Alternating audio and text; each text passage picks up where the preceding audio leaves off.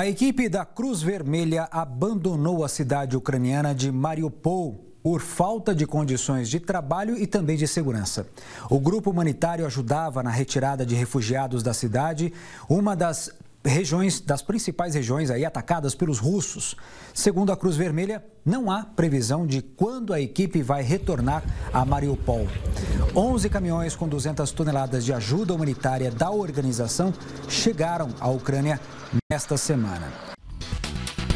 Análises profundas sobre política e economia, interatividade com o telespectador, informações essenciais com agilidade e dinamismo. Essa edição do Ara News está começando. Diferentes pontos de vista. Veja o que é notícia hoje. Os acontecimentos que são destaques pelo país e o mundo. Obrigada pela audiência. As novidades e os bastidores do entretenimento. Grandes reportagens de diversos temas com profundidade. Obrigado pela companhia. Uma ótima noite. Documentários jornalísticos e matérias especiais. Informações do universo geek e da cultura pop. Natureza, aventura, turismo e curiosidades. Está começando o Aldeia News. As novidades do agronegócio e do empreendedorismo agrícola. O Record News Rural está no ar. Conteúdo interativo do mundo animal.